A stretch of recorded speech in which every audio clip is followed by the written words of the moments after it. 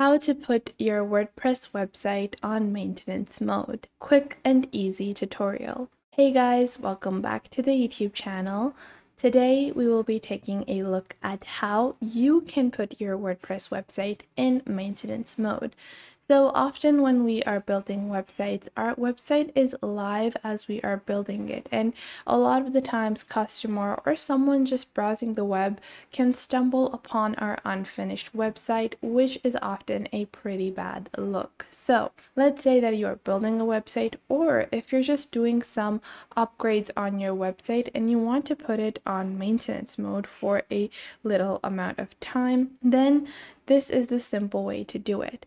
Now, you can do this whenever you are trying to upgrade a website or if you are launching new products, often you should put it on maintenance mode because your website is going to, you know, need some time to upgrade your collection and you want to make sure everything is going to be very cohesive and that can take some time. So, how do you put your website in maintenance mode? Well, it's very simple. Just head on over to your WordPress dashboard. Once you are on your WordPress dashboard, you're going to see on the left side of your screen, at the bottom, you have plugins. Click on your plugins over here. Once you click on plugins, you're just going to click on add new on the top left of your screen. And once you click on add new, you can see on the right side, you can search for plugins. So you're just going to go into your plugins and you're going to search for CMP. So just go into plugins, go into add new. And once you go into add new, just search for CMP on the top right of your screen. And once you have searched for CMP, you're just going to click on install now. This is the top plugin. It is by Neato Themes and it is a simple plugin where you can upgrade your website and have it be put on maintenance mode. Now, once you have done that, you're going to click on installed plugins on the left side of your screen. And from here, you can click on activate to activate your plugin. And just like that, your plugin has been activated. Now you can click on CMP settings over here, and this will lead you to your coming soon or homepage content that you can customize. So you can see currently this is disabled, coming soon and landing page where it's going to just show you, where it's just going to show the customers that you're coming soon. Now, all you have to do to put your website in the maintenance mode is click on enable over here and it's going to be a option. So you can put it on your whole website you can put it on your home page or you can whitelist and blacklist certain pages where certain pages could be put down temporarily and certain pages could be up and running. Now you can see I have put it on maintenance mode over here and what you can see that what is going to be the CMP mode. So it returns change to the standard version? Should it be a maintenance mode? Should it be a redirection mode where if someone tries to open a page that is under maintenance, it they would be redirected to another page.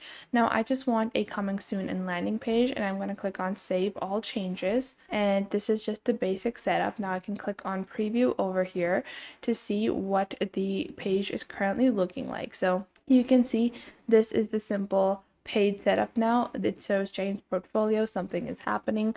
Now, what the best part about this plugin is, is that I can customize the content I show. So what you can do is you can click on the content over here and you can set up your logo setup. You can set up your main content and graphic backgrounds as well as icons and so much more. So to get started, we're going to add our text logo, which could be a graphic logo and you can upload a logo from your data. So let's say I just want to insert this as my logo and I wanted to say, instead of it saying something is happening, I want to say something along the lines of, we are working on our website, come back soon.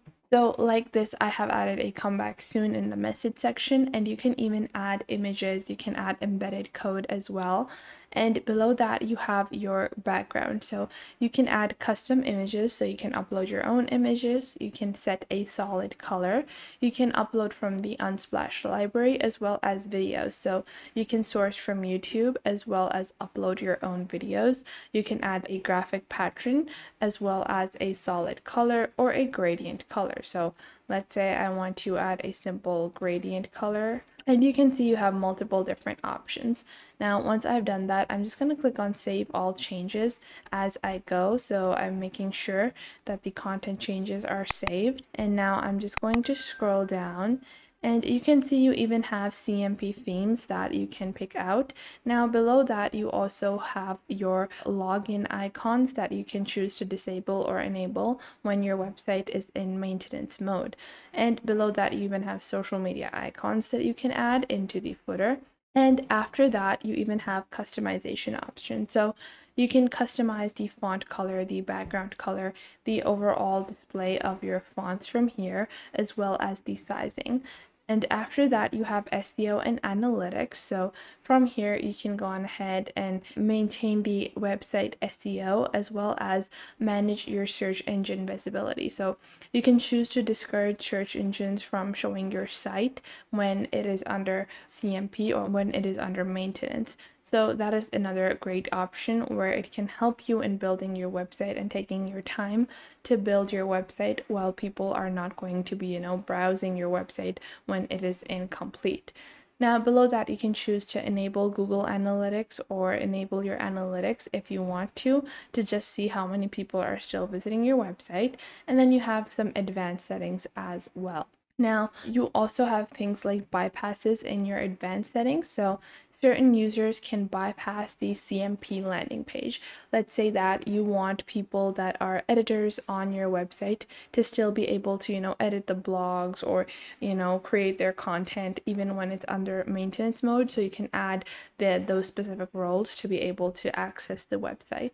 Now you also have CMP bypasses via URL. So if someone is redirected from a certain URL, you can also choose for those people to be able to access the website. So you can click on enabled and this will be the bypass URL and people that still want to be able to access the website with even when it's under maintenance mode can access it via this specific URL. So that is another option that you can provide to your customers or to your editors or to your writers, whatever kind of website it is. Now you can see over here, refresh my website over here.